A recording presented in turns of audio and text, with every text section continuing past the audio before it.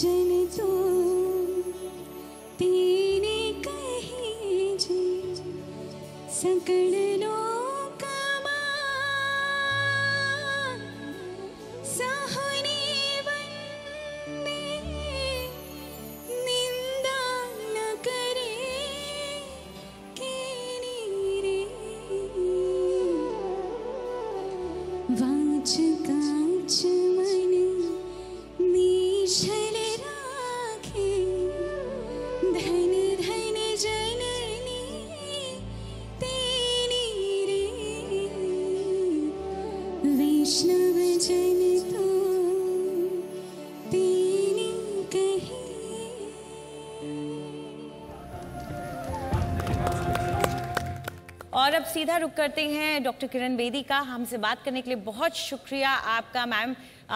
हम सब मानते हैं कि स्टेट्स के लिए बहुत बड़ा चैलेंज होता है बड़े बड़े अभियानों को इम्प्लीमेंट करने के लिए। लेकिन क्या यूनियन टेरिटरीज में भी इनको जब इम्प्लीमेंट किया जाता है पॉपुलेशन को देखते हुए क्या दिक्कतें आती हैं या नहीं, ये आसान रहता है क्योंकि सीधा सेंटर से आ रहा है? आपका रिएक्शन चाहेंगे, मैम? हर चीज़ में समय लगता है क्योंकि आप एक आदत को बदल रहे हैं, एक हैबिट को बदल रहे हैं। और उसके लिए कुछ सुविधा भी चाहिए, जैसे लोगों को पानी चाहिए। Sanitation means water as well सिर्फ़ टॉयलेट ही नहीं बनाना, लेकिन साथ साथ पानी भी चाहिए। फिर उसको मैनेज करने का भी कुछ चाहिए। सो इसलिए समय लगता है। इसलिए साधन भी और मानसिकता भी। साधन और मानसिकता, ये दोनों हैंड इन हैंड चलते हैं। मानसिकता तो ज़रूरी है ही, लेकिन सामने फ़ायदा भी उठ, उसको मिल रहा है। जैसे महिला को सुरक्षा मिलती है। महिला को समय से वो अपना शौचालय जा सकती है। तो उसको फ़ायदा जब नज़र आता है और साधन भी मिल जाते हैं सोच भी बदलती है तो वो संभव हो जाता है। हमारे साथ इस वक्त छत्तीसगढ़ के मुख्यमंत्री भूपेश बघेल भी जुड़ गए हमसे बात करने के लिए शुक्रिया आपका सर। जी नमस्कार। स्वच्छ अभियान को क्या वाकई में हम स्वस्थता से भी जोड़ करके लोगों तक सही और बेहतर तरीके तक पहुँच, से पहुँचा सकते हैं? दोनों एक एक दूसरे से जुड़ा हुआ है, स्वच्छता और स्वास्थ्य। और इसलिए छत्तीसगढ़ सरकार ने दोनों दिशा में काम करना शुरू किया है। पहला, हमने स्वास्थ्य की दिशा में काम किया। हमारे यहाँ छत्तीसगढ़ में सैंतीस दशमलव पाँच प्रतिशत बच्चे कुपोषित हैं। हमारे इकतालीस दशमलव पाँच प्रतिशत महिला एनीमिया से पीड़ित हैं। तो इनको गर्म और स्वादिष्ट भोजन देने के काम हमने शुरू किया। दूसरा बस्तर जैसे अंचल में हम लोगों ने स्व सहायता समूह के माध्यम से पेड़ भी बनवाना शुरू किया है और फ्री में वितरण भी वितरण भी करा रहे हैं। उसके साथ साथ जो गांधी जी के एक सौ पचासी वर्षगांठ है, जो कहते थे गांधी जी, हमेशा भारत है, वो गाँव में बसता है और ग्रामीण व्यवस्था को सुधारने की दिशा में हम लोगों ने कदम उठाया है और वो कदम है नरवा गरवा घुरवा बाड़ी एला बचाना है संगवारी।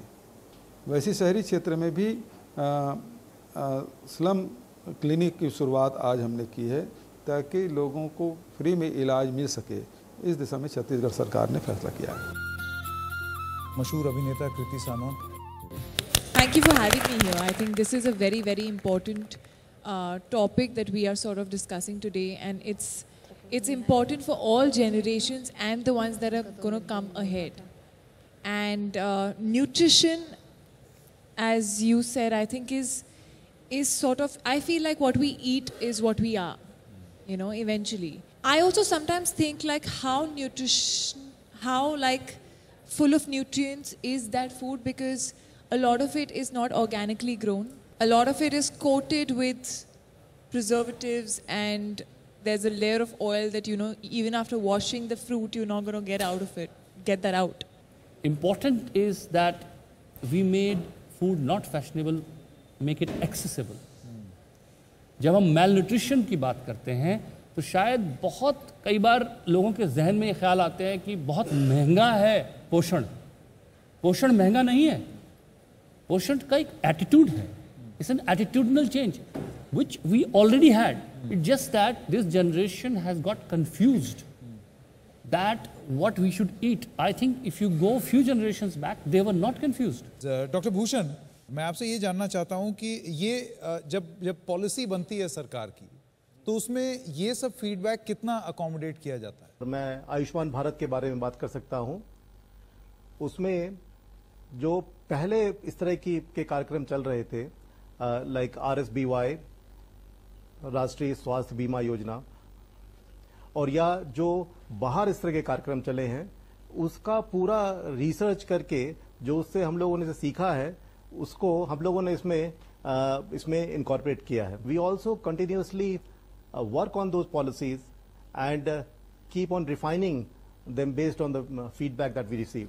Irrespective of how much you do for preventing uh, you will always have people who are going to be falling sick.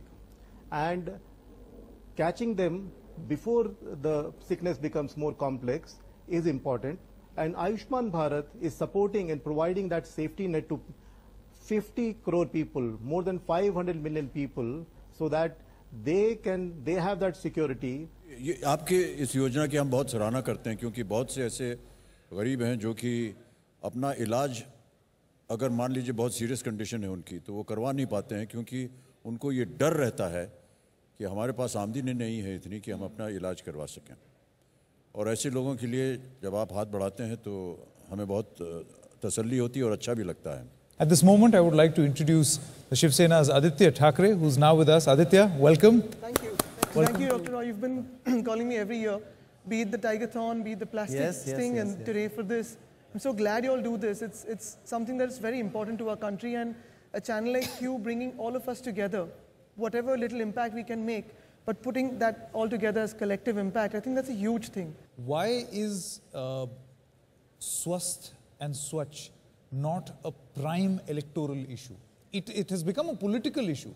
इसके बारे में जिक्र जरूर हो रहा है 2014 से प्रधानमंत्री भी कर रहे हैं लेकिन ये कभी चुनावी मुद्दा क्यों नहीं बनता है क्योंकि अम, जो मैंने अभी तक देखा है, यानी मैं जब नौ साल अभी पॉलिटिक्स में कुछ ना कुछ करते रहता हूँ मोस्ट ऑफ़ द चुनावी मुद्दा जो होते हैं हमारे, वो सारे लोगों से आते हैं। जो लोगों को सही लगता है, लोगों में ज़्यादा बातें होती है। It's a think about votes and right finally when you speak about votes it's something that the people want now when there so much of conversation and debate over Swachh and Swasth like you know for example two years ago when we start talking about getting rid of single use disposable plastic in Maharashtra it was then the UN took it up. It was on a global level. Now finally it's becoming at a national level and it's become a thing for politicians to speak. It's become cool to get rid of single-use disposable plastic. Likewise, I think about health and being swast.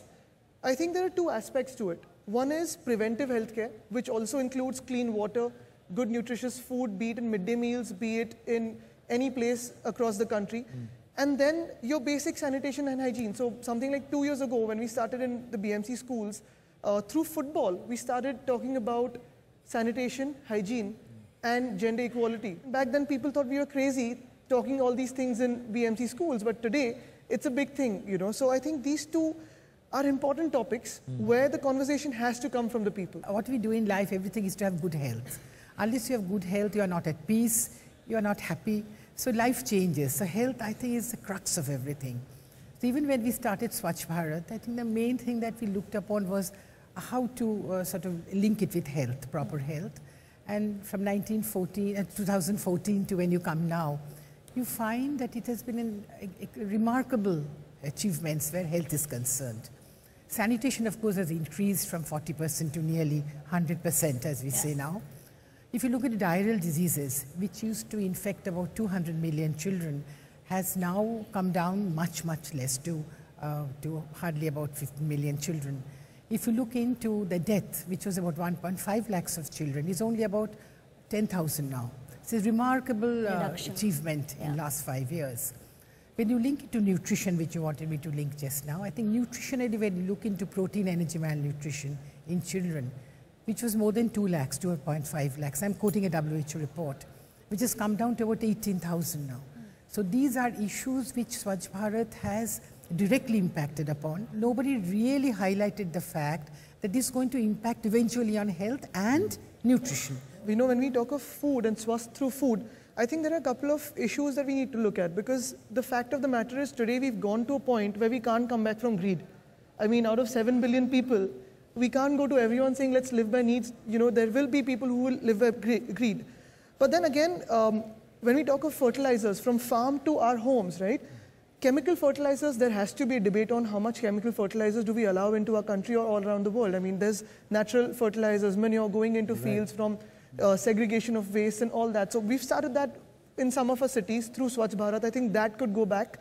The other thing is, rivers of India need to be unpolluted, if that is the word, because Huge, river huge. runoffs and water percolation that happens through these, you know, uh, river runoffs which are polluted. Today in Maharashtra, we've, we're trying to get 21 rivers out of the pollution bracket. But the fact of the matter is, we need to have STPs along our rivers. Sewage is running off into our rivers. That river water is going into our farms, which is going to grow food. It's a and we're using issue. that. It's a circle. I, I, Yes. I don't even think like it's possible to come out of it.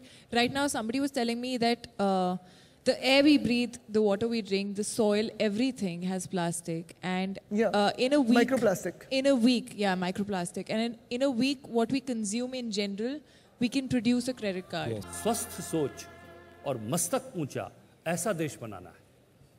स्वस्थ सोच और मस्तक ऊँचा ऐसा देश बनाना है हमने की शुरुआत जो उसको बहुत दूर ले जाना है। कोई नहीं है बस हम तुम हैं। कोई नहीं है बस हम तुम हैं। मिलकर हमको करना है। अपने मन की गहराई तक एक निश्चय को भरना है। कोई नहीं है, बस हम तुम हैं। मिलकर हमको करना है, अपने मन की गहराई तक एक निश्चय को भरना है। निर्मल सा एक ज्योति कलश जब द्वार पे सब रख पाएँगे। निर्मल सा एक ज्योति कलश जब द्वार पे सब रख पाएँगे। स्वस्थ विचारों का स्वागत उस दिन ही हम कर पाएँगे। निकल पड़े हैं प्रण करके, अब हमें लक्ष्य तक जाना है। स्वस्थ सोच और मस्तक ऊँचा। ऐसा देश बनाना है। क्या बात। बहुत बढ़िया। धन्यवाद। बहुत बढ़िया। न्यूट्रिशन हाइजीन और प्लास्टिक इन तीनों चीज़ों पर सरकार का क्या मत है? आपकी जानकारी के लिए बता दें कि पंचानवे लाख टन कचरा प्रति वर्ष भारत में उत्पादन होता है और जिसमें जो प्लास्टिक है सिंगल यूज़ प्लास्टिक उसकी संख्या ज़्यादा रहती है।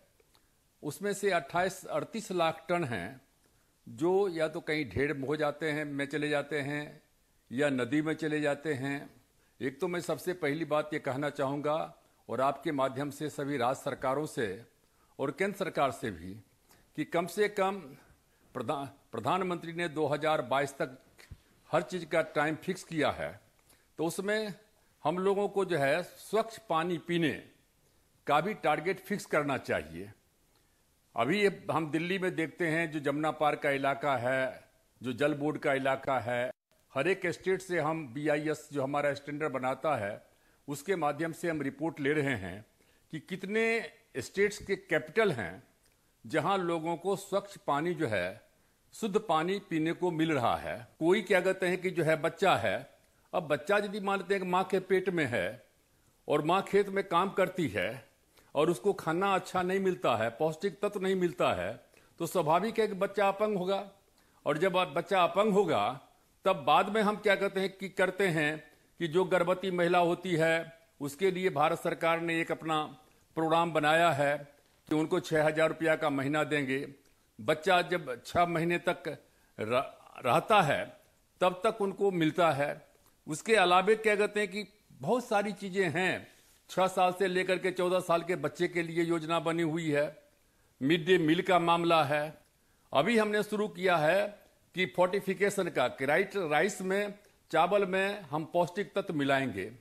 और वो पौष्टिक तत्व जो है, लोगों को मिले उसके लिए एक पायलट योजना हमने शुरू किया है। अरविंद केजरीवाल, आपका स्वागत है एनडीटीवी के इस कार्यक्रम में।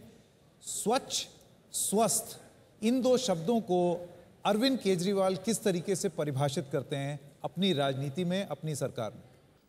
आपने इन दोनों शब्दों के बारे में कहा, ये शब्द नहीं है, स्वच्छता एक शब्द नहीं है। ये इसे एक ज़िंदगी का हिस्सा बनाना पड़ेगा।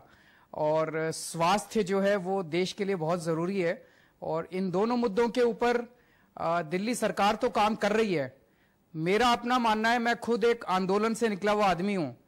कि अगर समाज में हमें कोई बहुत बड़ा बदलाव करना है तो वो बदलाव तब तक नहीं हो सकता जब तक जनता उसको जनता को साथ लिए बिना कोई भी बड़ा बदलाव नहीं हो सकता और मुझे खुशी है कि दिल्ली के अंदर बहुत सारे हमारे कैंपेन्स में जनता जुड़ी है और उसके बहुत सार्थक नतीजे आ रहे हैं when talking about a healthy India, nutrition is very important. This is where midday meal comes in because midday meal is very important. It helps kids. A lot of children in our country go to school hungry. So when you actually get a meal in school, it improves their attendance and retention by providing free food in government as well as local primary foods. So it's a very important aspect of nutrition for that segment of children. And joining us is Shri Chanchlapati Dasa, the Vice Chairman of the Akshay Patra Foundation. They started midday meals way back in 2000. And today they're feeding, uh, they're feeding children across, I mean, in 12 states, and they have 49 kitchens. So what was the thought behind this when you all started this whole midday meal concept? Uh, it started in ISKCON temple in Bangalore. Uh, we had no idea at that time that we would get into a program of this kind. And uh, there was one uh, important donor of our temple, who is now part of Akshay Patra, uh, Mohan Das Pai, who came to our temple. And he said, uh, Swamiji, you have such a big temple, and a lot of people are coming. You're doing, you know, the spiritual and that kind of stuff. Hmm, Can you also do something for the society? So then uh, Madhu Pandit Das, who's the chairman of Akshay Patra now, who was the president of the ISKCON temple, we were sitting and reflecting, what do we say? It was at that time uh, an anecdote in the life of our uh, founder, Prabhupada, came to our mind. Uh, Prabhupada had opened a temple in uh, West Bengal, Mayapur, and uh, about 100 kilometers from Calcutta. A lot of guests had come and a big feast was served. And uh, after the feast in the afternoon, uh, Prabhupada was sitting in his, o- in his room, and suddenly he heard outside the window children crying and dogs barking. He walked up to the window and he saw there were poor village children trying to gather some food from the leaf plates which were strewn there after the feast. And uh, when he, actually, Srila Prabhupada was a very, very compassionate person, felt for the pains of others. You know, there were tears in his eyes, and he called the leaders of ISKCON temples at that time and he said, Just see, we have invited Krishna to our temple. Krishna is the father of everyone, God is the father of everyone. And when there is God, how can there be hunger? How can there be children going hungry? It's the duty of every uh, ISKCON temple he gave at that time that you should see that no one, especially children, in a 10 mile radius of your temple should go hungry. So this anecdote was there in the back of our mind. So in a few days, uh, Mohan Das Pai came back, and then we said that of all the different things we have thought of, uh, in our temple we have a festival kitchen, uh, which is used only about eight days in a year. So we will start preparing meals, and so it was this kind of a simple idea that. And Uh, it- your, your, this simple idea is today feeding so many children across the country. And I think it's also inspired. We have Anil Sharma. You all also have the midday meal program. So, like, what, what, how do you all keep the hygiene aspect? Again, when you're cooking food for so many children, hygiene is really important. So I think uh, I'll start with saying that you know Mohandas Pai was critical in opening kitchen for us as well. Yeah, the inspiration. Yeah, he was the inspiration there. So he only got us to kind of join hands with the Rajasthan government at that time. And uh, to today we have about uh, four acre kitchen. It's a completely automated kitchen. And uh, like Swasth and Swa- Swachh, both are you know packed together in this case. Uh, there's nothing that is touched with the hands, you know, from roti to dal to whatever is being served. And for us, it is just not a midday meal, actually. We have not served this meal because there was a formality for us. Okay, uh, this was purely from the heart of, you know, our founder chairman, uh, who believed in doing something good, and he wanted to do something good for the girl child. Yeah. That is So- when Mohan Das Pai came and said, why only girl child, why not boys as well? And that's where, you know, the midday meal started for us. Today we serve about 60,000 children every day. And uh, last month we have completed 1 billion meals uh, through our kitchen.